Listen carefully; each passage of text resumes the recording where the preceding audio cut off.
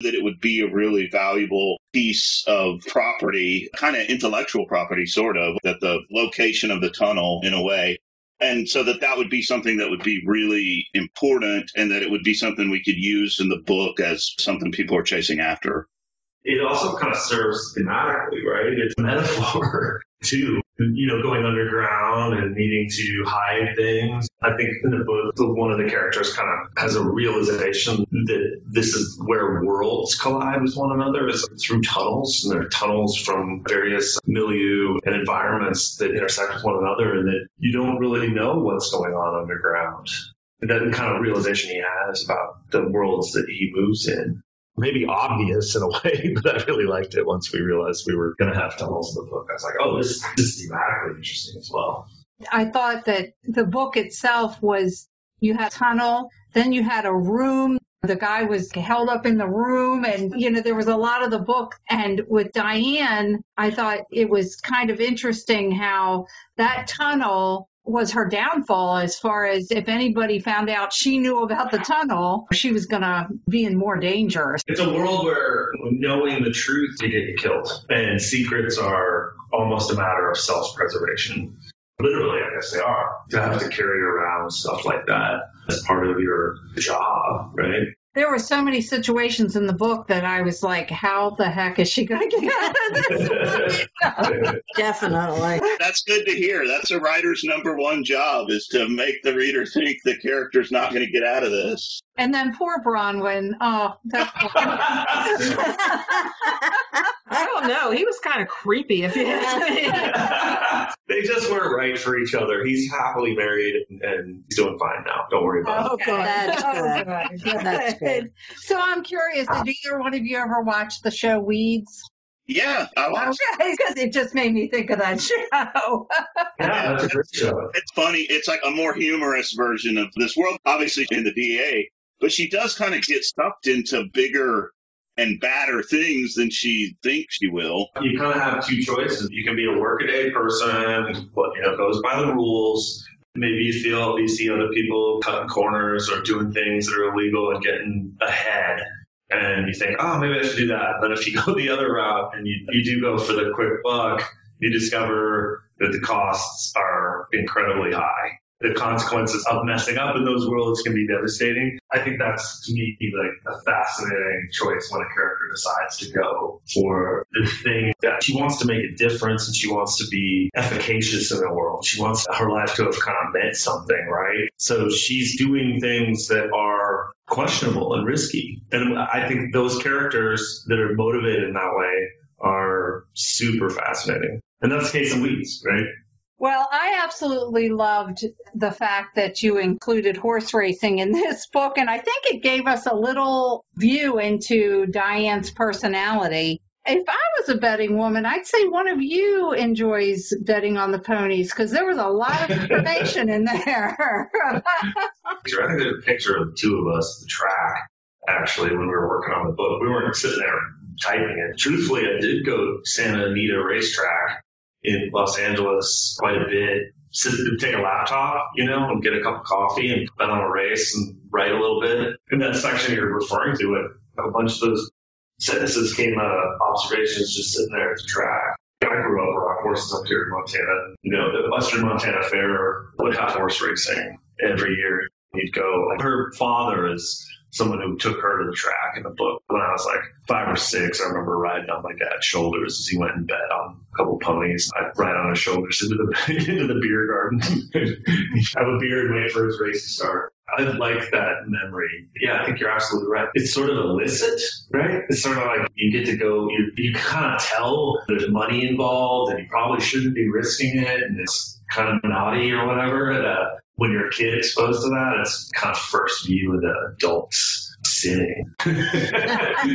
funny. So how'd you do on the days you sat around the racetrack and bet a little bit? I'm okay. Is it the Quinn? Uh, no, you box them. So you pick, oh, uh, okay. pick two. You pick two that you think are going to definitely be in the top three, and then you pick a long shot. Is that the trifecta? correct me if I'm wrong. I think the trifecta is you have to get them right, like in each order, like yeah. first, and this you just pick three and it can be in any order. But you throw that long shot in there, and the payouts can be pretty good. I've done all right doing that. a lot of times just going like, well, I like this horse named Molly's Gambit. I think I'll take that. I think we both ended up ahead. We spent like eight hours there, maybe even longer, uh, the whole day. And I think we both ended up ahead. But Smith is a professional gambler. So, you know, he has an advantage in these situations for sure. Well, regardless, we loved this book. It had humor, action, little romance in there. It was a good story. Well, So- thank you so much. That's Yeah, great to thanks. hear. We love hearing that. Are you working on any new books now? Individually and together.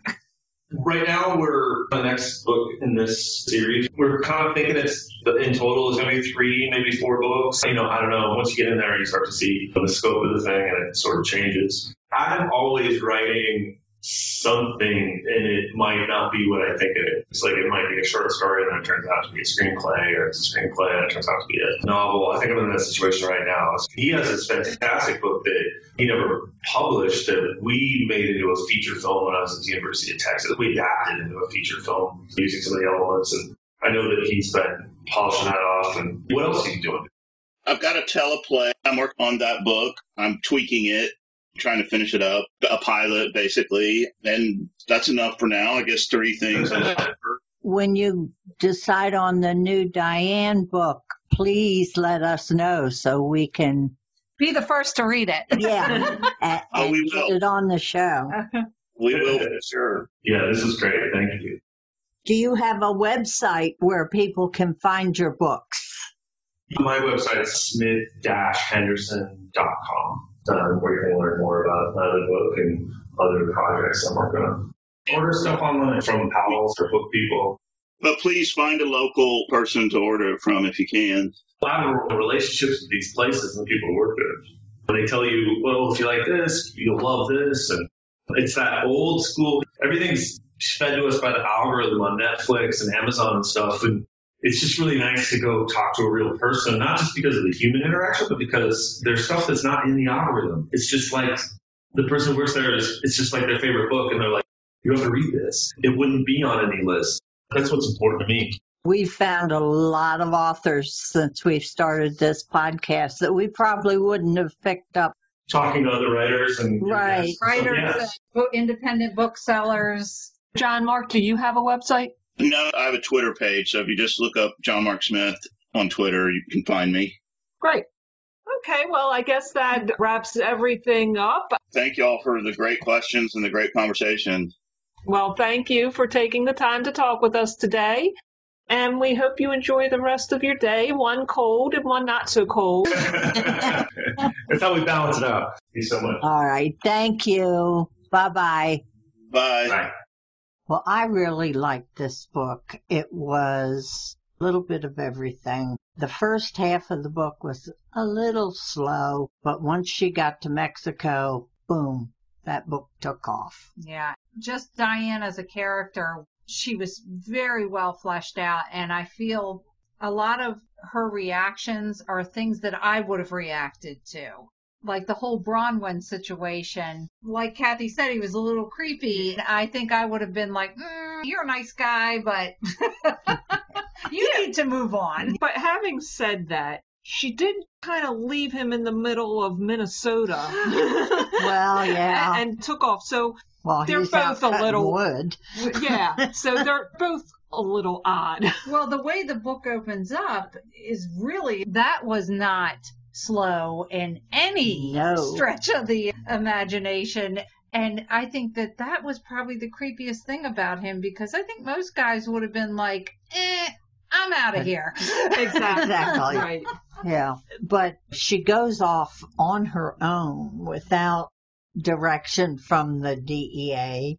She heads for Mexico. Just one little note. I'm Well, gonna- she did have some direction, but it wasn't the direction that she should have taken. Ex- Well, she told her partner, at least, he knew what was going on, so it wasn't like she took off without anybody knowing what was going on. If you want a kick-ass take charge female protagonist, you find it in Diane. But I'm really glad that we came across this series and that it was the first in the series because we really got to know Diane very well. And I'm so looking forward to see what direction, especially since they kind of gave a little hint that she's going to go off to some pretty exotic, exciting areas. So we'll get to see where that leads. Another recommended book by your dark and stormy book reviewers.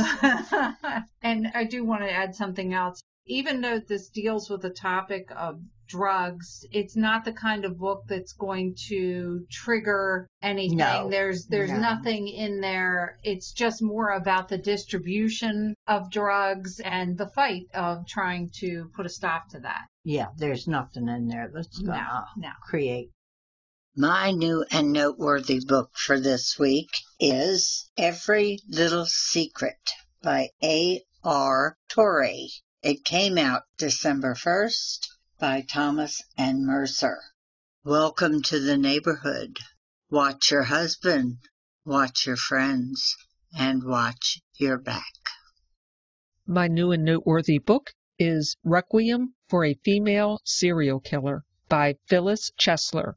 It came out November 12th, published by New English Review Press. This book will challenge everything you ever thought about prostitutes, serial killers, and justice in America. My new and noteworthy is The Last Resort. It is by Susan Holliday and it came out December 1st by Thomas and Mercer Books. When Amelia is invited to an all expense paid retreat on a private island, the mysterious offer is too good to refuse. Along with six other strangers, she's told they're here to test a brand new product for Time-O Technologies. But the guests' excitement soon turns to terror when the real reason for their summons becomes clear. Trivia. Last week's question was Almost everyone is familiar with Anne Perry's conviction in 1954 for the murder of her best friend's mother. But what was her occupation after she was released?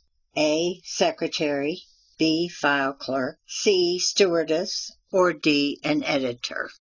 The answer is C. After her release in 1959, Anne moved to England and changed her name. She became a stewardess and she worked there until she moved to the U.S. in 1979. This week's question is Which famous author wrote books on ancient Egypt that have been in continual print since their first release in the 1960s? A. Agatha Christie. B. Michael Pierce. C. Linda Robinson. Or D. Elizabeth Peters. Good luck. Be sure and visit our website, darkstormybc.com. where you can check out all of our episodes. You can sign up for our newsletter. Click on the Patreon page and help us out a bit. Email us any reviews, ideas, and you know what else we haven't said in a while. Liking us on iTunes and downloading really, really helps us. Gets our train down the track. Exactly. So like us, give us five stars, please. Oh, please, yeah, we like five stars. I hope you'll join us next week. But remember, Life would be boring without a little mystery. bye.